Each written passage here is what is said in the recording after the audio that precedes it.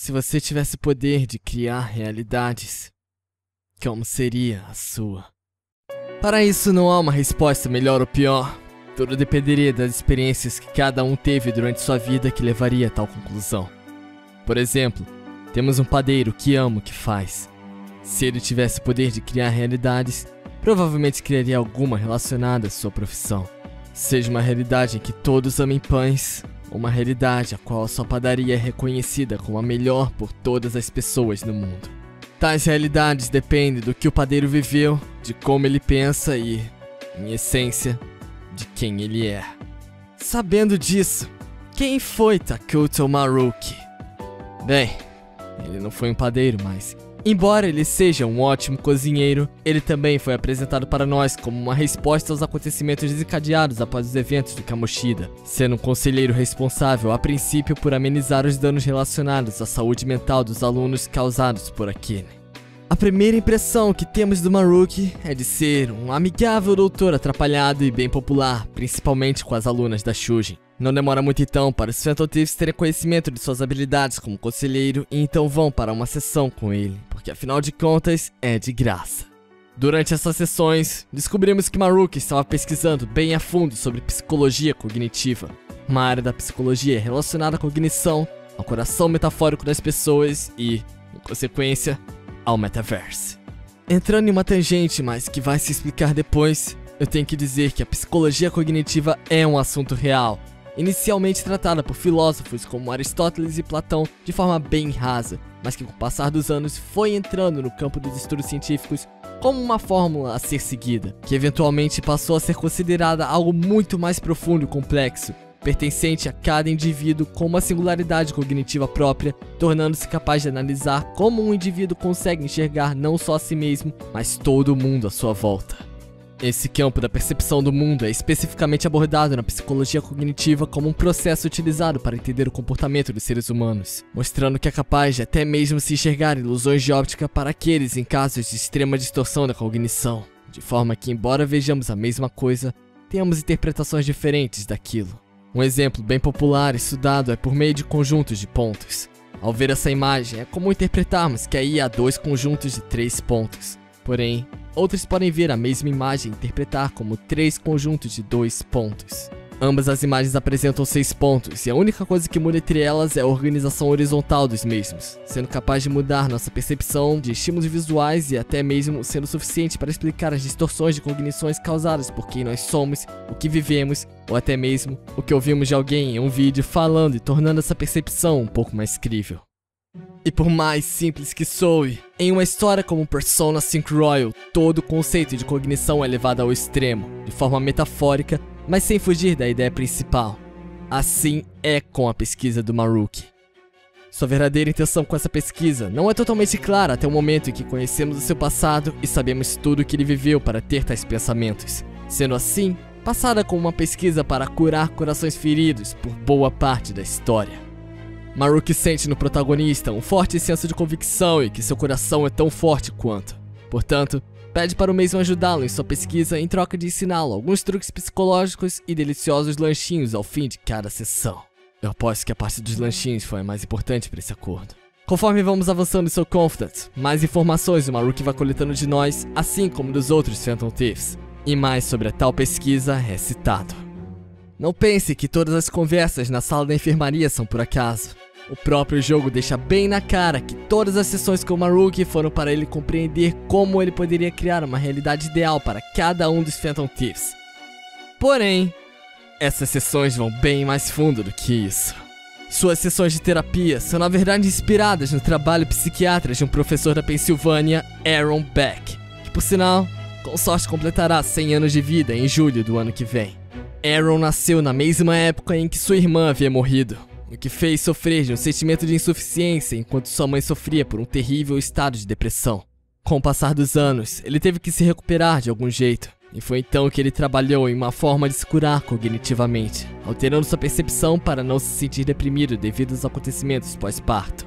Tal trabalho se desenvolveu até o ponto de Aaron Beck fundar o que conhecemos hoje como terapia cognitiva, responsável por lidar com distúrbios e perturbações a partir de três áreas da cognição que Beck acreditava ser o que fazia a pessoa ter depressão: o futuro, o mundo e o próprio indivíduo. Se todas essas três áreas fossem tratadas corretamente, era esperado que o paciente revertesse seus sintomas de depressão e deixasse de ter uma visão negativa e irreal sobre o mundo, tudo a partir de um tratamento de cognição.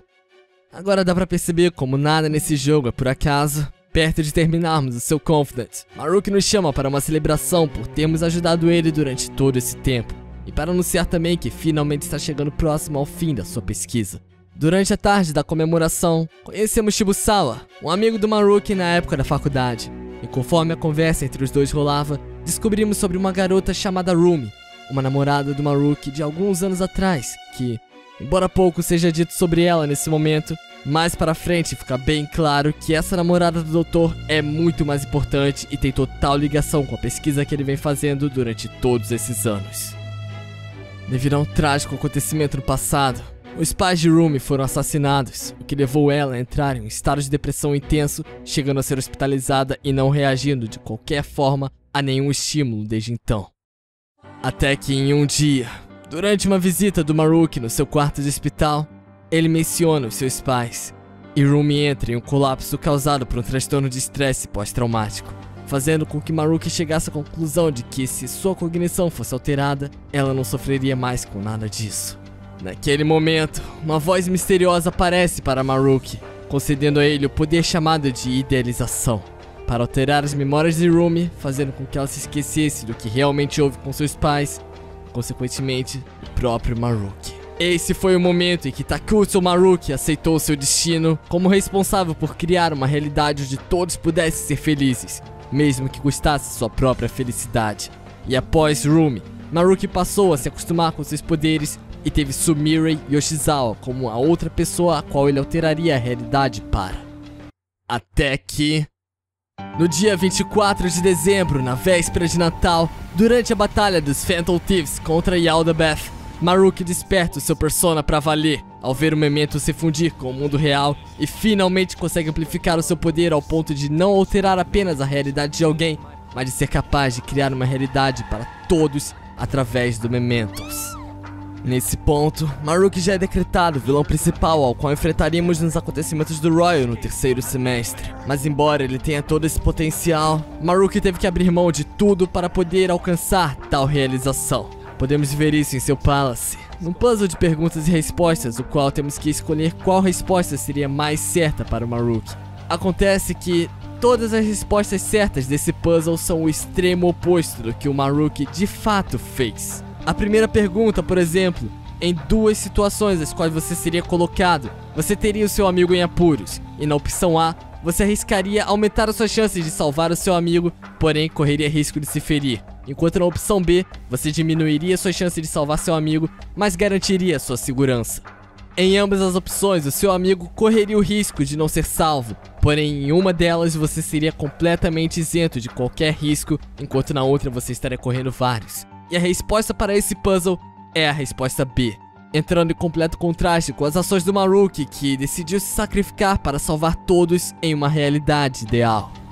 Todas as perguntas seguintes seguem o mesmo modelo, Todas elas mostram formas inversas ao que o Maruki tomou como ação. E isso em si já diz muito sobre o personagem, mas uma coisa que fala ainda mais alto é quando chegamos ao puzzle final de seu Palace, o Labirinto do Éden. Neste labirinto, podemos ver pessoas felizes que passaram pelo tratamento de Maruki flutuando em direção aos céus.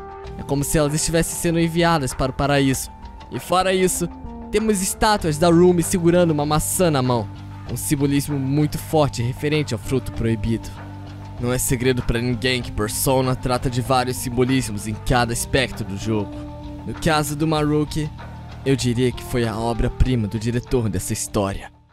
Takutsu Maruki é o seu nome, e Maruki, escrito com os kanjis de perfeição e felicidade, tem muito a ver com o que nós vamos falar aqui agora. Outro aspecto importante em seu nome é que o kanji ki de felicidade também tem a mesma pronúncia do kanji de árvore. Exatamente a primeira coisa que vemos quando chegamos ao Jardim do Éden, seu palace. Quanto ao Takuto, o mesmo é escrito com o kanji de pessoa. Juntando o que já sabemos do seu outro nome, é quase como se ele fosse o homem perfeito que levasse a felicidade a todos. O homem perfeito que namora Rumi, a mulher que vimos segurando o fruto proibido no labirinto do Éden. Seria coincidência demais se não fosse um claro simbolismo a história de Adão e Eva. Mas as coincidências não acabam por aí. Na verdade, elas só estão começando. Quanto ao que já descobrimos pelo seu puzzle de perguntas, Maruki se sacrificou por completo para dar felicidade a todos, e o seu nome tem mais um significado por trás disso. Maruki pode significar também a inexistência de felicidade, pois Maru significa círculo, assim como zero também é visualmente. Para falar a verdade, Maru significa muito mais algo como círculo do que perfeição, mas devido todo o contexto da história e do plot do personagem, você consegue chegar essa conclusão de que círculo é uma figura perfeita, uma figura geométrica perfeita, assim passando a mesma intenção para o Maruki. Que nós já vimos ser felicidade, e o kanji de pessoa em seu outro nome nos leva à conclusão de que ele é a única pessoa que não possui felicidade, o zero felicidade, Maru Ki. Isso também fica claro quando você coleta a sua Will Seed, a Will Seed of Sorrow, a qual ironicamente mostra que o pecado o qual Maruki representa é o da tristeza. Ainda falando como Maruki se enxergava como Adão, o seu persona final, Eren Kedmon, que traduzindo seria algo como o Homem Primordial ou o Primeiro Homem, é uma versão completamente diferente ao Adão que Maruki é. Na Kabbalah, Eren Kedmon possui diversas interpretações metafísicas e filosóficas, sendo um ser sem imagem alguma, um ser antropomórfico, uma entidade para uma criação de reinos teológicos ligados a Sephiroth, ou até mesmo uma vertente mais ligada à cabala judaica, em que ele é uma figura gigantesca, com mais de 150 km de extensão vertical, sendo um andrógeno inerente de conceitos como o sexo masculino ou feminino, o qual a partir da divisão de Eran teve-se tais concepções. Esse último sendo então o mais próximo ao que nós podemos ver visualmente, pelo menos, de como Eren Kedmon é dentro da história de Persona 5 Royal. E é contra esse monstro colossal que nós enfrentamos por último, em uma batalha que mostra o quão convicto Maruki está na sua realidade ideal. Uma batalha em que é visível os seus esforços para trazer a felicidade às pessoas e mostrar que ele sabe o que é melhor para todos. Uma batalha fruto de anos de pesquisa dedicados solenemente a uma cega visão de um mundo ideal.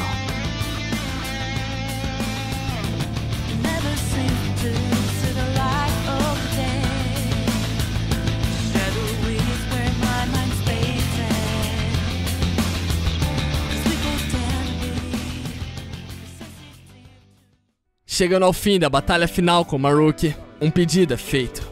Maruki percebe o que fez e, como seu último desejo, pede para que Joker acabe com todos os seus arrependimentos em uma briga mano a mano para extravasar a sua raiva. Sem personas, sem armas, apenas com emoções e bons socos. E ao fim disso, a realidade ideal criada por anos de esforço do Dr. Maruki é desfeita. Que você criou é mesmo uma realidade ideal. Mas qual o sentido da felicidade se não há conquista? Vamos dar um fim a isso. De uma vez por todas, Maruki!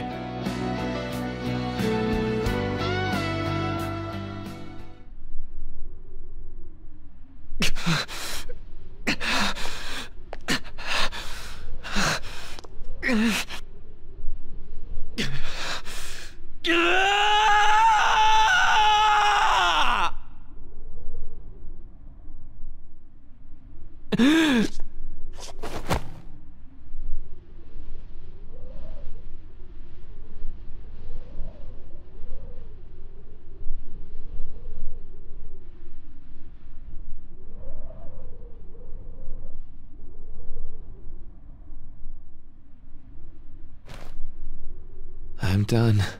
I get it now. All thanks to you. Enquanto tal realidade tivesse sido imaginada para dar felicidade a todos aqueles que queriam, seja com acontecimentos ou pessoas vivas naquele mundo, os Phantom Thieves lutaram para reconquistar a realidade onde nem todos são felizes e nem todos estão vivos. Pois como aprendemos quando cruzamos todos os caminhos nas profundezas do Mementos e enfrentamos Yaldabeth, não precisamos de alguém nos dizendo como viver. Não podemos nos render às vontades de um Deus. Temos que lutar pela nossa própria realidade e mostrar convicção naquilo que fazemos. É isso que torna nossos corações fortes. Há muitos debates sobre o mundo ideal que o Maruki criou ser a melhor opção a se tomar. Porém, isso não só jogaria fora tudo que aprendemos na batalha contra Yaldebeth, como também o sentimento de conquista que batalhamos para ter por qualquer coisa, sabendo que tudo simplesmente aconteceria de um jeito ideal para nós. A única pessoa que não vê isso durante a história é o próprio Maruki, usuário de Persona conhecido como Ezazoth, o deus cego e idiota. E não, eu não tô inventando, esse é literalmente o título dele. O que nos leva a pensar Maruki, sendo o único capaz de experimentar o sentimento de conquista por ter os frutos de sua pesquisa finalmente florescendo, em troca de roubar tal emoção do resto da humanidade, torna ele tão cego e idiota quanto seu próprio persona Ezazoth. Mas no fim, após todos os acontecimentos possíveis e no último dia do jogo, Maruki se encontra uma última vez para se despedir do protagonista com uma frase de encorajamento que, mas soou como uma afirmação para si mesmo do que um conselho para o Joker.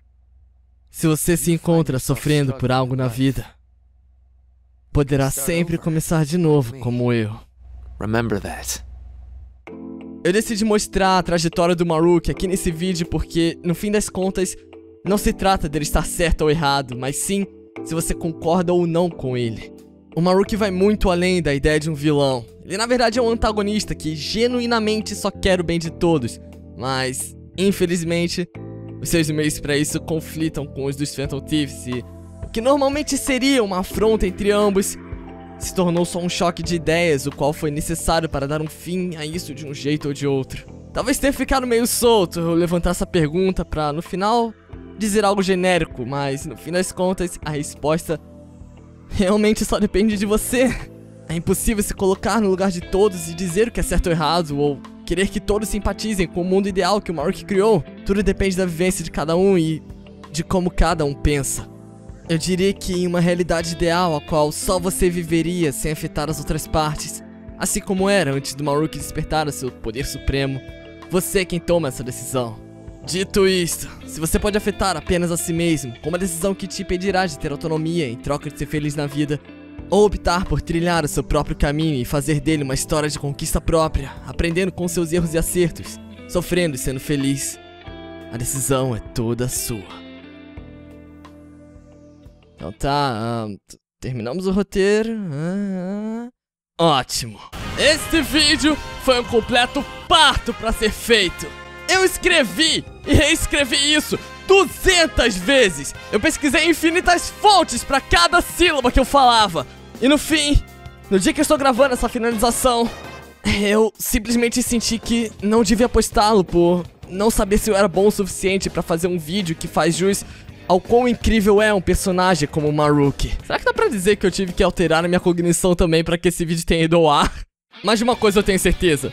Persona 5 Royal foi um jogo necessário. Diga o que você quiser, cara. Se você teve algum preconceito com o jogo só por achar que ele seria só um relançamento, mesmo sabendo que a Atlus sempre trabalhou assim, você não experimentou Persona 5 Royal. Ou pelo menos não experimentou direito, porque o arco do Maruki... Mano... Como nós vivemos sem ele por 3 anos desde que o Vanilla tinha lançado? Eu não tenho sombra de dúvidas de que ele é o meu antagonista preferido de todos os jogos que eu já joguei na minha vida.